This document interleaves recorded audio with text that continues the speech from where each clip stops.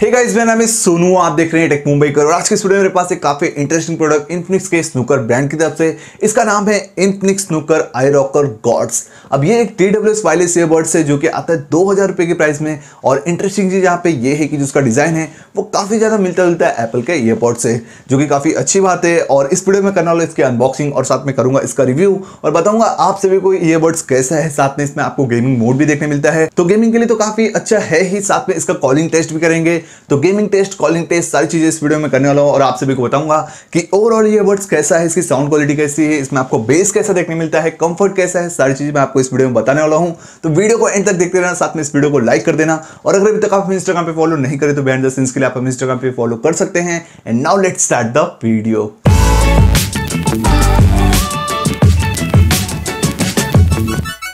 तो सबसे पहले स्टार्ट करते हैं इसके बॉक्स पैकेजिंग से। अगर बात करूँ इसके बॉक्स की तो आपको पे स्नूकर की ब्रांडिंग दिखाई देगी। साथ में आई रॉक और गॉड्स इसका नाम है। और डिज़ाइन बाय इन्फिनिक्स से आता है हमेशा की तरह ही। जैसे कि आप सभी को पता नहीं होगा तो मैं आपको बता दूँ कि ये इन्फिनिक्स का सब ब्रांड है जो कि ऑडियो सेगमेंट के प्रोडक्ट को बनाता है। साथ में जो उसका डिज़ाइन है, वो मिलता जुलता है काफ़ी ज़्यादा एप्पल एयरपोर्ट से, जो कि काफ़ी अच्छी बात है। अगर बात करूँ बॉक्स के लेफ़्ट साइड की तो आपको यहाँ पे टू पावरफुल बेस देखने मिलता है इसके अंदर। साथ में up to twenty four hours का आपको बैटरी लाइफ देखने मिल जाएगा। साथ में गेमिंग मोड देखने मिलता है, जैसे कि मैंने आप सभी को बताया था। और साथ में इंटेलिजेंट टच कंट्रोल देखने मिलता है। यानी आपको यहाँ पे टच कंट्रोल देखने मिलता है, जो कि काफ़ी अच्छी बात है। अगर बात करूँ टॉप की तो आपको यहाँ पे स्नूकर की ब्रांडिंग देखने मिलती है। बॉटम साइड में आपको यहाँ पे कुछ स्पेक्स दिखाई देंगे, जहाँ पे जो प्राइसिंग लिखी गई है, वो है फोर थाउज़ेंड रुपीज़ लेकिन जो उसकी प्राइसिंग है, वो है टू थाउज़ेंड रुपीज़ जैसे कि मैंने आप सभी को बताया है। और अगर बात उसके राइट साइड की तो आपको यहाँ पे स्नूकर लिखा हुआ दिखाई देगा। और बॉक्स के पीछे आपको यहाँ पे कुछ की फीचर्स लिखे हुए दिखाई देंगे, जिसके बारे में आगे आपको वीडियो में बताने वाला हूँ। तो अब फटाफट इसके बॉक्स को ओपन करते हैं और देखते हैं कि बॉक्स के अंदर क्या क्या मिलता है, और जो हमारा ईयरबड्स है, वो कैसा देखने मिलता है। तो सबसे पहले मैं यहाँ पे इसके बॉक्स को ओपन कर लेता हूँ।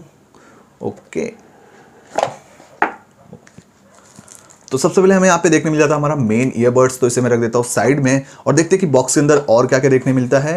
और, ओके। इसके बाद हमें यहाँ पे देखने मिल जाता है एक माइक्रो यूएसबी वाला केबल इसे चार्ज करने के लिए। तो आपको यहाँ पे टाइप सी देखने नहीं मिलेगा, आपको यहाँ पे माइक्रो यूएसबी वाला केबल देखने मिलता है इसे चार्ज करने के लिए। इसके बाद में आपको यहाँ पे यूज़र मैनुअल गाइड देखने मिल जाएगा। तो अगर आपको जानना हो कि इन ईयरबड्स को यूज़ कैसे किया जाता है तो आप इसे रीड कर सकते हैं। अदरवाइज़ आप इस वीडियो को देखते रहिए, मैं आपको सारी चीज़ें इस वीडियो में बताने वाला हूँ। और सबसे लास्ट में हमें यहाँ पे देखने मिलता है एक वारंटी कार्ड बॉक्स के अंदर ही। तो कुछ इस तरीके का बॉक्स कॉन्टेंट देखने मिलता है। अब इन सारी चीज़ों को रखते हैं साइड में और बात करते हैं हमारे मेन ईयरबड्स की। सो ये हमारा स्नूकर आई रॉकर गॉड्स और जैसे कि आप यहाँ पे देख सकते हैं, जो उसकी साइज़ साइज़ है वो काफ़ी ज़्यादा छोटी, काफ़ी कॉम्पैक्ट है साइड से भी अगर आप इसे देखेंगे तो।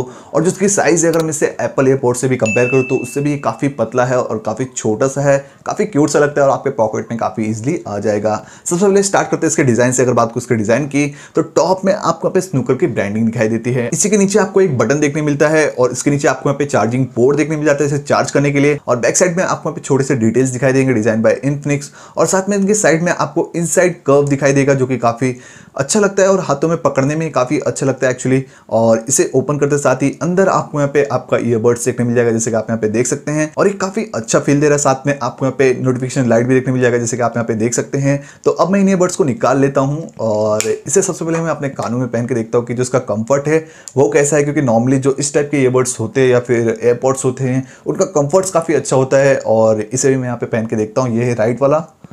ओके और ये है लेफ़्ट वाला। तो कंफर्ट्स काफ़ी अच्छे, जैसे कि आप यहाँ पे देख सकते हैं, मेरे कानों में काफ़ी इजीली फिट हो गया है।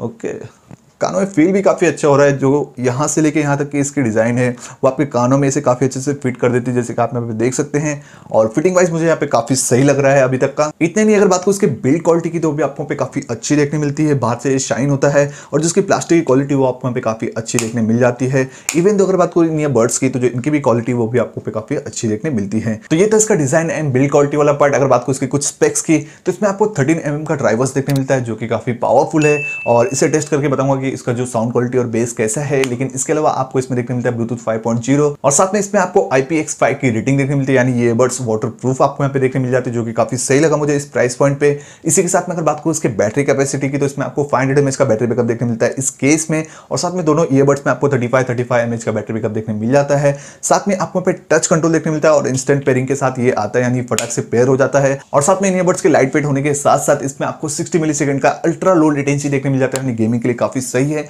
तो उसे भी मैं आपको टेस्ट करके बताने वाला हूँ कि इस ईयरबड्स में आपको जो लो लेटेंसी देखने मिलता है गेमिंग में, वो आपको कैसा देखने मिलता है। इसके अलावा अगर बात करूँ उसके साउंड क्वालिटी की तो एक चीज़ मैं यहाँ पे कहना चाहूँगा प्राइस के हिसाब से जो उसकी साउंड क्वालिटी वो आपको पे काफ़ी बढ़िया देखने मिलती है। चाहे वो लो हो गया मिड्स हो गए या फिर हाइज हो गए, सारी चीज़ें आपको यहाँ पे अच्छी देखने मिलती है। साउंड काफ़ी क्लियर आता है और इंस्ट्रूमेंट वगैरह भी काफ़ी अच्छे से आपको यहाँ पे सुनाई देते हैं, काफ़ी अच्छे फील होते हैं और डिस्टोर्शन आपको यहाँ पे देखने नहीं मिलता है। इवन तो अगर आप वॉल्यूम को फुल कर देंगे तो भी ये बाहर आवाज़ नहीं जाता, यानी आपके आसपास वालों को सुनाई नहीं देगा कि आप कौन से सॉन्ग को प्ले कर रहे हैं या फिर कौन से गाने को सुन रहे हैं तो ये चीज़ मुझे यहाँ पे काफ़ी अच्छी लगी। इसी के साथ में जो बेस है, वो भी आपको यहाँ पे बढ़िया देखने मिल जाता है, कानों को फील होता है। और ओवरऑल अगर बात करूँ उसके साउंड क्वालिटी की, इसके प्राइस को कंसिडर करते हुए तो जो उसकी साउंड क्वालिटी आपको यहाँ पे देखने मिलती है, वो काफ़ी बढ़िया देखने मिल जाती है इस प्राइस पॉइंट में। और अगर बात करें बट्स के टच कंट्रोल की तो सिंगल टैप करने पे सॉन्ग्स को प्ले पॉज कर देता है।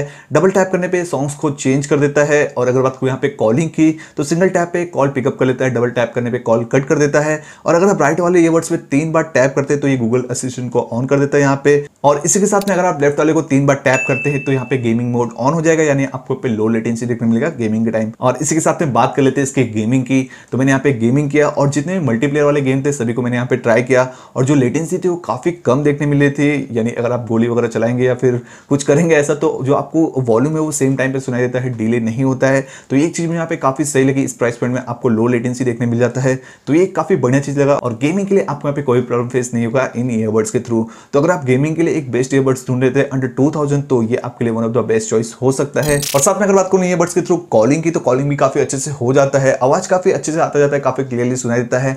बैकग्राउंड नॉइज़ आपको इतना फील नहीं होगा, काफ़ी क्लियरली आपको यहाँ पे वॉइस सुनाई देता है। इवन दो आपको यहाँ पे कोई नॉइस कैंसिलेशन देखने नहीं मिलता है ईयरबड्स में, लेकिन जो ऑडियो है वो आपको यहाँ पे काफ़ी क्लियरली सुनाई देता है वाइल कॉलिंग और साथ में अगर सबसे लास्ट में बात करूँ इसके बैटरी वाले पार्ट की तो इसके केस में आपको फाइव हंड्रेड का बैटरी देखने मिलता है। साथ में दोनों ईयरबड्स में आपको थर्टी फाइव थर्टी फाइव का बैटरी देखने मिल जाएगा। और अगर बात करूँ सबसे पहले इसके चार्जिंग टाइम की तो एक घंटे में इन ईयरबड्स को चार्ज कर देता है फुल्ली और आपको यहाँ पे एलईडी के थ्रू इंडिकेशन देखने मिल जाएगा जब ये फुल्ली चार्ज हो जाएगा। और साथ में अगर बात करूँ इनके बैटरी लाइफ की तो अगर आप इन को सिंगल टेक में कंटिन्यूसली यूज़ करते हैं, एक बार चार्ज करके तो इन के थ्रू आपको यहाँ पे आराम से तीन से साढ़े तीन घंटे का बैटरी पिकअप देखने मिल जाएगा। यानी आपका एक मूवी आराम से निकल जाएगा। लेकिन अगर बात करूँ इस केस के साथ में इसकी बैटरी लाइफ की तो आपको यहाँ पे आराम से एक से डेढ़ दिन का बैटरी पिकअप देखने मिल जाएगा इस केस के साथ में। तो बैटरी लाइफ भी आपको यहाँ पे काफ़ी अच्छी देखने मिल जाती है इस प्राइस रेंज के हिसाब से। और अगर ओवरऑल बात करें बर्ड्स की तो प्राइस के हिसाब से ये बर्ड्स काफ़ी अच्छे, काफ़ी अच्छी साउंड क्वालिटी है गेमिंग काफ़ी अच्छी है कॉलिंग काफ़ी अच्छे से हो जाती है बैटरी लाइफ भी काफ़ी बढ़िया देखने मिल जाता है।